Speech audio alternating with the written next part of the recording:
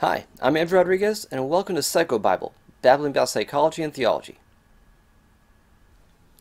This past week, June 9th, 10th, and 11th, was the 10th annual Restored Hope Network Conference, Hope 2022, held at the Ridgecrest Conference Center in Black Mountain near Asheville, North Carolina. It was beautiful, and for me, the theme of the conference was reunion and reconciliation. Why is that? For several reasons. Uh, for one, apparently, Exodus held several conferences at this Ridgecrest Conference Center, as well as Hope for Wholeness would normally hold their conferences there. So, for a lot of the old timers, a lot of the veterans in this field, it was kind of like homecoming for them. Uh, I was watching uh, Garry Ingraham uh, share a video. Uh, he was at the auditorium and he was reflecting on how that was the very spot where he proposed to his wife. And so there's a lot of history there for people who've been involved in either Exodus or then Restored Hope Network or Hope for Wholeness. And so it brought back a lot of memories for other people. Now, for me, this is my third Restored Hope Network conference, and as far as I know, this was the first time Restored Hope Network had done a conference at Ridgecrest. Because, for the most part, the Restored Hope Network conferences were held at churches, so everyone had to stay in hotels. And then the past two years were virtual. And so, more and more, people were starved for getting together and really spending a lot of time together and in community and catching up, enjoying each other's company. And so this time we were able to spend all that time together and eat together, enjoy meals, hang out. And it was in a beautiful place in the Smoky Mountains. I, I couldn't stop taking photos. Just take a look at some of these shots I took.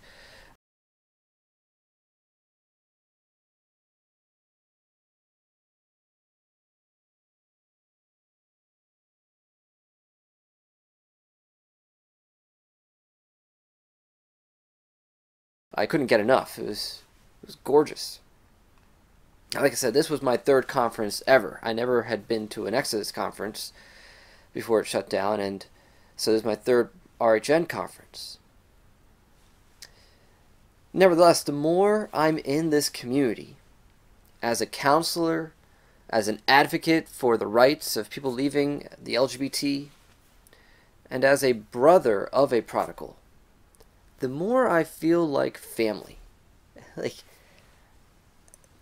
that's the thing I just couldn't stop thinking about as the conference was winding down and I'm on my way home.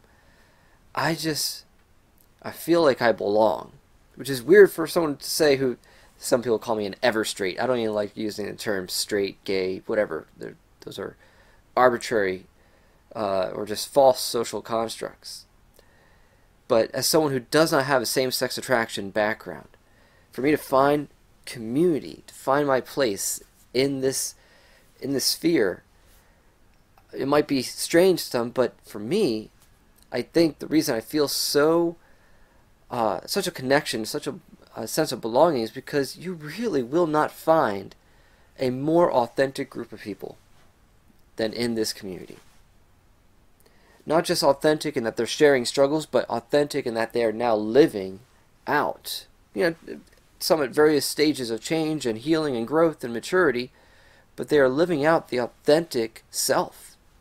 They are taking hold of that which God has for them in sexual reintegration. There's another reason I would say that the theme was reunion and, in particular, reconciliation. And that is something I found out the first day of the conference. There was a surprise guest in attendance. I can say this publicly because it was already shared publicly, but that guest was Rosaria Butterfield. And when I heard some of the conversations others were having with her, uh, because she was only there Thursday, and I didn't get a chance to meet with her, I really wanted to go up and introduce myself. From what I heard, God is doing something. Now, if you're unaware, Rosaria Butterfield, most known for her book um, Confessions of an Unlikely Convert, uh, she's a former professor and uh, LGBT activist, like a radical lesbian feminist, I think, uh, back in the day, and then had a, a powerful conversion to Christ. And uh, she's very well known in evangelical circles, especially among uh, Protestants and Calvinists and the Reformed types. And so she's written some books, and she has a lot of influence with, say, Becket Cook and Christopher Yuan. And I recently did a video about her and Christopher Yuan and their attacks against the ex gay ministry field and Exodus, and now essentially Restored Hope Network, since most of the ministries that were part of Exodus are part of Restored Hope Network. And Christopher Yuan in particular, but also Rosaria Butterfield, have been very critical of these ministries. And so I re just recently, about a month ago, did a video responding to those criticisms, which I believe are mostly unfounded and based off uh, uh, some strange rationale or off of straw men and misinformation. And I, I came in pretty strong in that video. But my heart has always been to see those who hold to a true, truly authentic Christian sexual ethic, like those in her stream of uh, what we call the renounce column or the uh, mortification stream, who are pretty much are in agreement with those of us in the transformation or rebuild area when it comes to how the church addresses uh, same-sex attraction and gender identity uh, confusion or discordance. I, my heart has always been to see unification, to just go the extra step. And yes, we're in agreement that repentance is essential and really at the core of what we're teaching. But we also believe in transformation and the hope of it, and that there are things we can proactively do to, to aid in that process. And I, I just have longed to see us be allies, not, not squabbling or having some sort of civil war amongst ourselves. And so my appeal has always been please see the truth come together with us, come to our conferences. And to see her there just it when people were telling me the stories about the conversations they were having, it tears were welling up because I'm starting to see something happening. So I don't want to share too much because it's not my place to share. Since I did see her there, these are my thoughts I'm having about just seeing her there. Uh, you know, she sat right up front front and center, and I was off to the far right, and I could see her face during the, the different speakers. She was only there day one, but I'm quite glad she was there for that day because there were some really good presentations that first day. And so just it stirred in me hope for seeing uh, the church unite when it comes to this issue. And that first keynote address on day one, on Thursday the 9th, was by board member Jeff Simunds from Tower of Light Ministries. And it was the perfect initial keynote address because all he did was explain what the journey looks like. And he pretty much, in just very clear terms and in a gentle tone, explained the message that Exodus and then Restored Hope Network have taught, have always taught, and still teach. Right at the outset, he spoke to strugglers and made it very clear that God loves you deeply. And then he explained how the thing that is required of us is repentance, which is surrendering your heart to Him and pursuing holiness.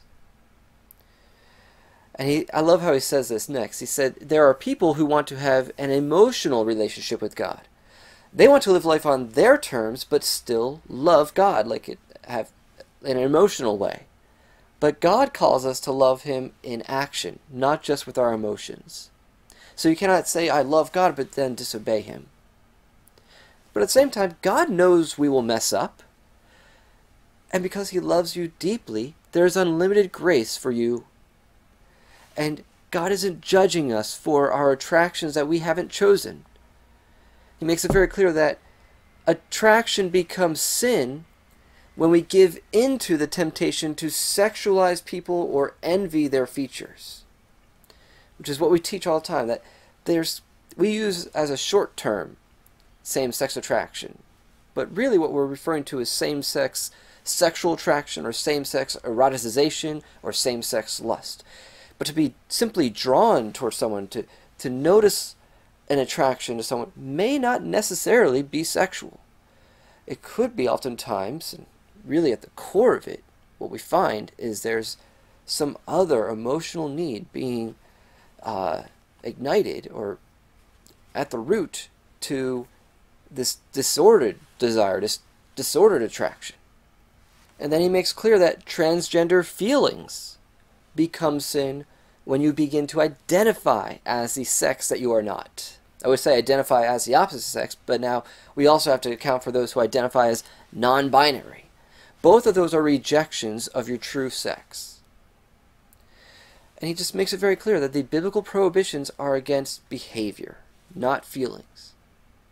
And he addressed how some people make the mistake of making the primary goal complete change in feelings and uh, acquiring a marriage rather than making the primary goal repentance and seeing those things as potential outcomes that may or may not happen. And so he uses this illustration, which everyone just loved. Everyone, came, so many people came up to him and told him that's a perfect illustration. So he said how the first step is containment of your passions. We want to get it from being a wildfire to contain it to a fireplace. And understand that beneath the, those passions and those desires and those attractions, there, there are root issues. And God really wants to heal those root issues of brokenness. Brokenness in our, our identity, in our view of ourselves, and our view of others, our view of God, uh, emotional wounds. And as God heals those root issues, the fire dies down. For some, completely. But even for those who for whom it dies down completely, there may still be conditions that cause the fire to flare back up, perhaps for a season, or if not tended to, pervasively. And as the fire dies down, it opens up the possibility of opposite sex attraction to rise up. And there may be more healing regarding opposite sex relationships that, that is then needed. And he makes it very clear that we neither promise nor deny the development of opposite sex attraction for anyone. God can do anything, and the degree of one's healing and growth we cannot predict. And I love this other thing he, he mentioned that you can live without sex, but you cannot live without intimacy. And it's so important that we have these truly open and vulnerable but affirming relationships in our lives. And I guess that's that's part of why I love being in this community so much. We, I can be totally open about my own sexual struggles as someone without same-sex attraction, as well as struggles I've been through, uh, brokenness, wounds from my life, the wounds of loneliness and rejection that so many of the people in this field can already relate to. And it's it just fills that void, and that's really what we ought to be doing it's not just I'm there to minister to them, but uh, as I unite with others in this field, most of them other ministers, uh, we find commonality and we we strengthen each other. So that was just simply the perfect keynote address to open up the conference. Jeff, thank you for your obedience in, in presenting it. And then that night of day one, uh, Tamika Sanders from Coming Out Incorporated uh, she gave a, a message called Being Rooted and Grounded in Love. And her hashtag, uproot that thing. so she used a, a, an object lesson using a plant and showing how there are roots that lead up to the fruit. And uh, just did a really good job. It was very practical. And once again, it just falls right in line with everything we've always, ta- always taught that whether it's sexual addiction or same sex attraction or um, promiscuity, or all sorts of other uh, behavioral issues, these are all fruit of deeper issues that are underlying. And we can think that, well, what we need to do is just cut out the fruit. But they could grow back. You've got to do the work of digging out the roots. And so that was just well put and will stick in a lot of our heads. All the uh, gardeners in the audience were were quite amused with as as she did the exercise, she, uh, the uh, illustration, um, and some of the uh, struggles she had on stage with the plants, yeah, because she's not a gardener herself. So it, was, it actually really helped uh, as everyone just understood what she was trying to say with it. There were just so many good workshops. In fact, there's too many good workshops, and we only get to choose three of them. So I wish I could multiply myself and check out multiple workshops.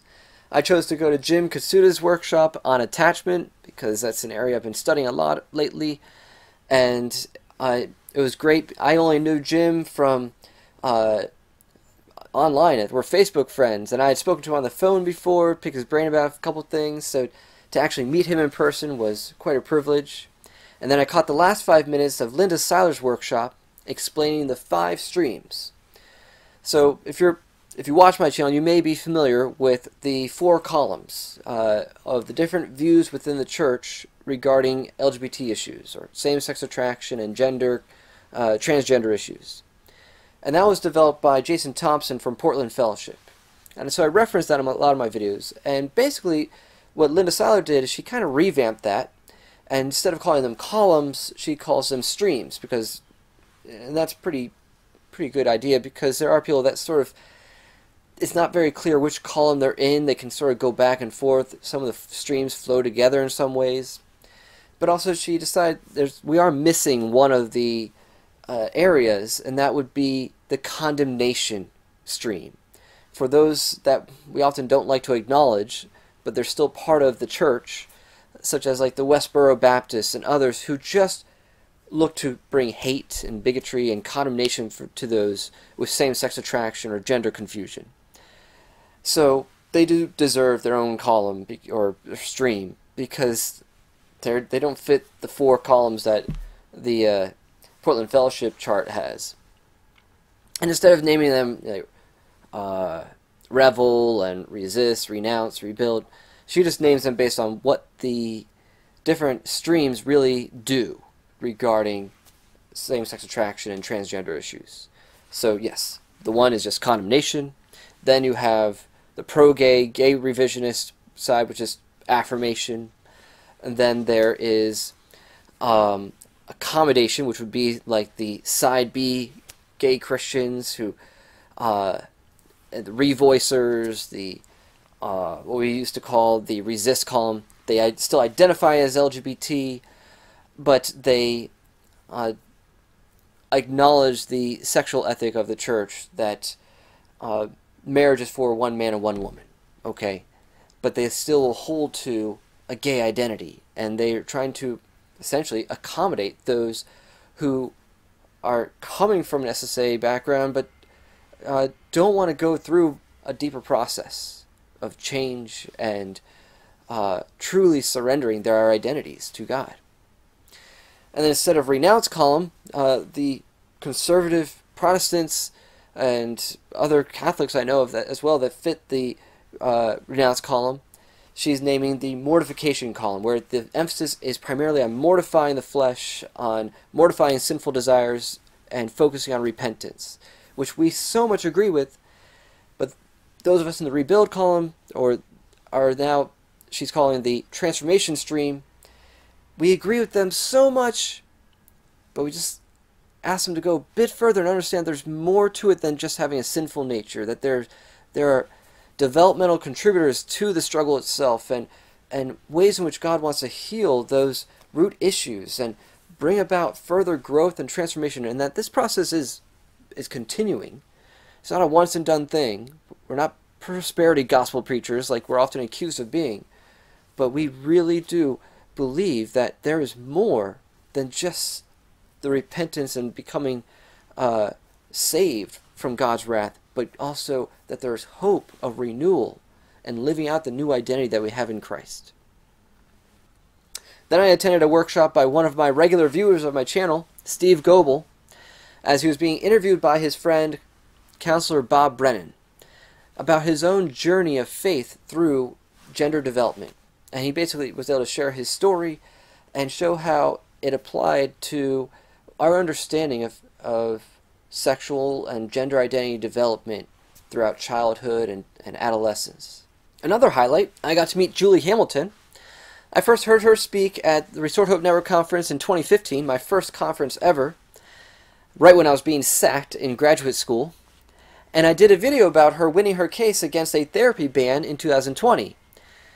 And she spoke again this year to explain the latest research and, and to uh, give a teaching on the developmental model of same sex attraction and gender identity. So it was pretty much the same sort of speech as she gave in 2015, but a bit more updated with some of the latest research. And so it was great to actually meet her for the first time in person. And then the keynote on Saturday was Dr. Paul Hruz, an endocrinologist explaining the science behind the transgender movement and medicine. Now, I've heard a lot of this stuff before, but it's always just appalling to see the damage that's being done to the bodies of these individuals, especially children who are being put being put on puberty blockers and then cross sex or really wrong sex hormones and then undergoing surgeries to remove uh, their their genitalia or their gonads, their their breasts, and see the changes that their body go through, which are oftentimes irreversible. And to complement what he was sharing, Laura Perry shared her story, both as a testimony and then also when he did his workshop, with which was more of a Q&A, she tag teamed with him. Now, Laura Perry works for First Stone Ministries, and uh, she just recently released her book, Transgender to Transform, sharing her story. She went through pretty much the whole transition process, and then God got a hold of her, and she went through uh, a process of detransition, which is still undergoing in some ways. But she just praised God because God has shown up in some miraculous ways in some of her her um, detransitioning, coming back more into her true sex, and some of those characteristics being restored again, like her voice. She was told that her voice would never go back to normal, and it's almost there. Thank God. So um, it was great to, to have both of them sharing it uh, simultaneously or back to back, and I got to pick Dr. Hruz's brain just a little bit because I've had some ideas about the nature of how we determine sex, so I'll be doing a video on that at some point. And speaking of testimonies, there are just so many of them, such a variety. You had people who were coming out of same-sex attraction, of transgenderism, or both. You had parents and loved ones of people, and some of them, their children are still prodigals, still lost, and they're still hoping and praying for their return. You had others who just are involved in the ministry in some way, sharing their story about how they got involved in this. So we had Gene and Anita, Anita Eggman, who uh, just they're they're parents of a of a son who is uh, living homosexually and still a prodigal, and just they shared what they've learned through that process, how they've had to go through some degrees of transformation. So God did a work in their hearts, so that God willing, when their son returns, they are in a place where they're ready to receive his him, and uh, and really be the the best parents they could be for him, and how they've they've used their own hurt to then minister to others in a support group.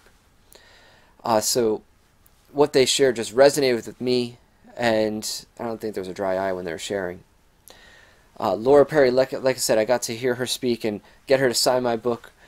Uh, Michael Newman shared his story, and I know him from the Restory Zoom calls that we do, or Friends of Restory. And Restory, if you're not familiar with them, they're a ministry uh, that was created not, not too long ago to resource and equip the assemblies of God to address the LGBT issues. And so he was the executive director, and so he shared his testimony. And then Pastor Bob Stith shared his testimony. And he was just an unlikely ally to the ex LGBT. He shared, I mean, he's, he's aged and he's been in this field for a long time, but here he is, he's coming from the Southern Baptist Convention, and he had no interest of serving in this field and associating with these ex gays. But God started leading him to investigate what is going on with these ex gay stories I'm hearing about, these strugglers. Going back to when Exodus was around, so back in the 90s, he, he investigated and he just shared his memories of his involvement in this field and it resonate, resonated with me quite a lot as someone who does not have an SSA background, but God sort of led me into working with guys who struggle in this area. And one of the things he shared was after working with guys struggling with same sex attraction, a bunch of them asked him one time, So, what do you think of us? And I love what he said. I believe you're fighting a battle you haven't asked for, and the church has failed you, and the world wants you to accept it and to me, you're my heroes. And that's how I feel whenever I'm with this crowd. You guys, fighting against the tide, even when the church has not always had your back. And will often tell you, just identify as gay. You, all right, okay, you can be gay. It's okay to be gay. Just don't act on it, or, or just condemns you, or tells you that to pursue uh, healing and growth is a, a a fool's errand. And the world is constantly telling you you're you're denying your true self, you're you're going back in the closet. All these messages from the world, and oftentimes the church now is echoing the world. When you're standing on the truth, the truth of who you really are, against all tides, that's courageous. That's heroic. You guys have blazed a trail and I'm just so blessed to be in your presence and to glean from you guys and, and uplift you guys as much as I can. God spoke to me in some very clear ways at this conference. I said the theme for me was reunion and reconciliation. And I've said in previous videos, if you watch my channel, that my heart's desire is to see the church united. Uh, that's what I've always felt. Ever since I was a young kid, I've, I wasn't I'm not a denominational guy. I I'm not loyal to any particular denomination. It's always bothered me that we have so much division in the church. And so it's always been my desire to see the church united. And I believe that's going to be necessary in certain ways. Maybe not fully, like there will be no more denominations. But at our core to be united. And I believe that's going to be necessary to endure the end times this vision I have got confirmed when I was in high school, and my pastor called me up. My pastor didn't know me that well. He called me up and had a prophetic word for me that I would be involved in some sort of ministry that would unite the church. And he struggled. He was like, but it's not as a pastor. He couldn't put his finger on it. He's like, you won't be, a, it's not as a pastor, but in some way you'll be involved in a ministry that unites the church. And I just, it, it was confirmed in my spirit I didn't know what that was going to be though. Like how how would that look? I just knew that I've always had a heart for seeing the church united. And when I went to my first Restored Hope Network conference, I got a taste of that vision. I saw how the ex-gay ministries are really they're all about reconciliation and reintegration. We're sharing the gospel of reconciling the world to God through Jesus Christ. We're seeing families reconciled. We're seeing male and female reconciled. We're seeing people reconciled to their true sex, their true gender. And we're seeing healing as people reintegrate their mind, will, and emotions, their body, mind, and spirit, the body, soul, and spirit. As all of those become whole. That's why we call it sexual integrity. It's wholeness. And from there, we have a place to stand strong against the tides. But even in this movement, I still see some divisions. In particular, between the therapy world and the ministry world. Uh, and that came up in several conversations I had. For example, I've, I've heard some people say that sometimes they feel like those of us who are therapists disparage ministry approaches.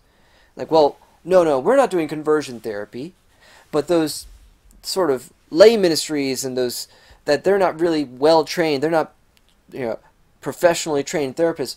Those are the conversion therapists. They're they're the ones doing conversion therapy. But I've seen it thrown out the other way among the the ministries, saying no, no, no. Those the legislation they took advantage of the fact that legislation was only for licensed counselors, those different therapy bands. See, no, no, they're the conversion therapists, not us. We're just doing pastoral care. And we're just ministering to people with the Bible. And sometimes with the Holy Spirit, we're, we're just dealing with the spiritual issues. And so it's oftentimes this sort of, no, no, no, the hot potato. Like, no, we're not the conversion therapists. You guys are. No, no, no. And that's why my platform, PsychoBible, is where I babble about psychology and theology. My heart is to bridge that gap between ministry and therapy, between the spiritual and the psychological. Also, as a non denominational Christian, I envision and and actually I see the manifestation to an extent a reconciliation between different streams in Christianity. As if you watch my videos, you know I I talk about so much Catholicism. You would think I'm a Catholic, but I'm not. and also Orthodox Christianity, uh, but I'm I'm still Pentecostal. Um, I but I don't like calling myself Protestant because I don't like identifying myself by what I'm against.